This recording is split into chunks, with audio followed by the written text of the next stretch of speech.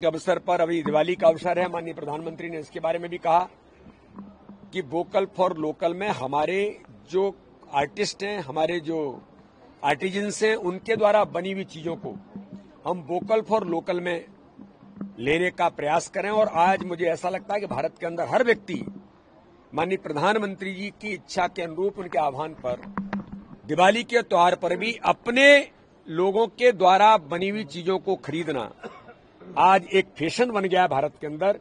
हम प्रधानमंत्री का धन्यवाद करते हैं। एक बड़ी बात आज माननीय प्रधानमंत्री जी ने कही है। Digital fraud. और इसके बारे में प्रधानमंत्री जी ने लोगों को आगाह किया है। आप अलर्ट रहिए, डरिए मत, सोचिए। और उसके बारे में आप रुकिए, सोचिए और उसके बाद फिर एक्शन करिए। ये एक बड़ा अवेयरनेस माननीय प्रधानमंत्री जी ने भारत के नौजवानों से लेकर के सब लोगों के लिए कहा है कि कई प्रकार के लोग फ्रॉड कर रहे हैं, लोग उलझ जाते हैं, लोग डर जाते हैं और लोग उनके मक्कड़ जाल में फंस जाते हैं। इसलिए इसके बारे में भी माननीय प्रधानमंत्री जी ने डिजिटल फ्रॉड, डिजिटल अरेस्ट, इन बातों का उल्लेख किया है और लोगों को आगाह किया है और लोगों को सजग बनाने का काम भी माननीय प्रधानमंत्री ने कहा है। कल्चरल ब्रिजेज आज बने हैं देश के अंदर। दुनिया आज भारत की संस्कृति पर काम कर रही है। कई देशों के उन्होंने नाम लिए पेरू से लेकर के, और भी कई स्थानों पर आज रामायण से लेकर के इन सारी चीज़ों के जो मंचन होते हैं, वहाँ के लोग भी इस दिशा में प्रयास कर रहे हैं, और आगामी आने वाला समय, सर्दी का समय, फिट इंडिया।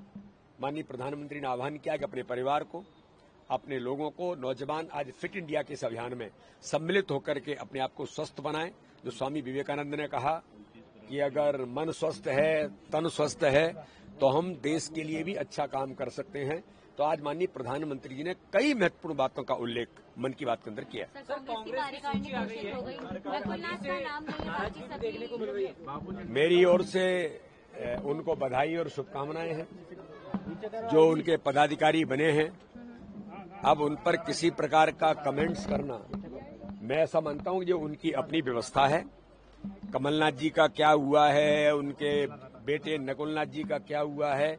छिंदवाड़ा की जनता ने तो उन्हें नकार ही दिया था अब तो कांग्रेस ने भी नकार दिया। कांग्रेस कह रहे हैं कि अंधा बांटे रेवड़ी अपने अपनों को दे और हारे हुआ जो आदमी है वो भाग मतलब विवाद विवाद को बना पार्टी का। क्या टंडन ने भी इस्तीफा भी दे दिया है कांग्रेस तो ये ये देखिए मैं, मैं बार बार ये कहता हूँ कि कांग्रेस को जनता ने नकार दिया है। और केवल यहाँ नहीं जब राहुल गांधी को जनता ने नकार दिया। वो घूम रहे थे, पता नहीं कलंगी लेकर के। और जो हरियाणा ने जलेबी बनाई तो उसके बाद वो उलझते ही चले गए। यही हाल मध्य प्रदेश का है। इसलिए मैं फिर कहता हूँ, हमें इस पर कोई टिप्पणी करने की ज़रूरत नहीं है। उनके हालात ऐसे हैं कि कांग्रेस मध्य प्रदेश के अंदर आज नहीं 2003 के बाद जो मध्य प्रदेश बीमारू राज्य और बंटा ढार था दिग्विजय सिंह के नेतृत्व में फिर कमलनाथ जी गलती से आए पंद्रह महीने। उन्होंने मध्य प्रदेश को भ्रष्टाचार में आकंठ डुबो दिया था। दलाली का अड्डा बना दिया तो जनता ने इन्हें नकार दिया है, चाहे कारगानी बनाए, चाहे कुछ बनाए। वही सब उनकी फहरिस्त है, जो उसी प्रकार के काम करने वाले लोग हैं। इसलिए भारतीय जनता पार्टी का कार्यकर्ता प्रत्येक बूथ पर अपना काम कर रहा है।